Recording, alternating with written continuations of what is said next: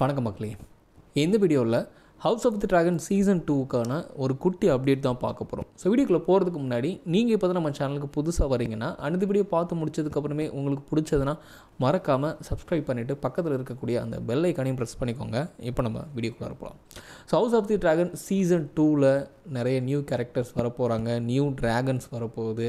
And June சிக்ஸ்டீன்தப்போ முதல் episode release ஆக போகுது. இது எல்லாமே வந்து ஆல்ரெடி தெரிஞ்சது தான் பட் இந்த சீசன் டூவில் இருக்க ரெண்டு மெயினான விஷயம் பார்த்தீங்கன்னா ஒன்று இந்த சீசன் டூவோட மெயினான கேரக்டர்ஸாக வந்து ரெனேரா அண்ட் ஆலிசன் அப்புறம் டேமன் இந்த மூணு கேரக்டர் தான் இருக்க போகுது.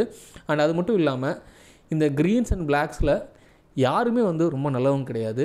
ஈக்குவலான கலவையில் வந்து ரெண்டு டீம்லேயுமே வந்து நல்லவங்களும் இருப்பாங்க. அதே சமயத்தில் மான்ஸ்டர்ஸ் மாதிரி பிஹேவ் பண்ணக்கூடிய கெட்டவங்களும் இருப்பாங்க அப்படின்றது வந்து ரயான் காண்டல் ரீசெண்டாக ஒரு இன்டர்வியூவில் சொல்லியிருந்தார். அண்ட் இன்னொரு விஷயம் பார்த்தீங்கன்னா இந்த சீசன் டூவில் ரெண்டு வெறித்தனமான பேட்டில் சீக்வன்ஸ் இருக்க போது இந்த ரெண்டு பேட்டில் சீக்வன்ஸ் அப்படின்றது அவங்க ஹவுஸ் ஆஃப் தி ட்ராகனுக்காக ஷூட் பண்ண சீக்வன்ஸ்லேயே லாங்கஸ்ட் சீக்வன்ஸாக வந்து இந்த ரெண்டு பேட்டில் சீக்வன்ஸ் இருக்கான்.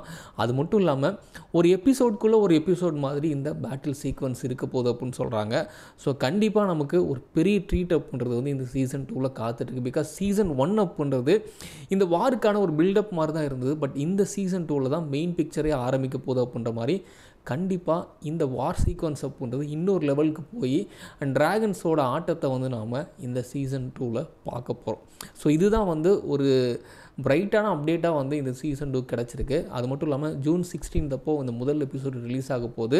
ஸோ உங்களை மாதிரி நானும் வந்து பயங்கரமாக வெயிட் பண்ணிகிட்ருக்கேன் ஸோ நீங்கள் எந்தளவுக்கு வெயிட் பண்ணுறீங்க அப்படின்றது வந்து கீழே கமெண்ட்டில் மறக்காமல் பதிவு பண்ணுங்கள் மற்றும் ஒரு சூப்பரான வீடியோவில் சந்திக்கிறேன். நன்றி.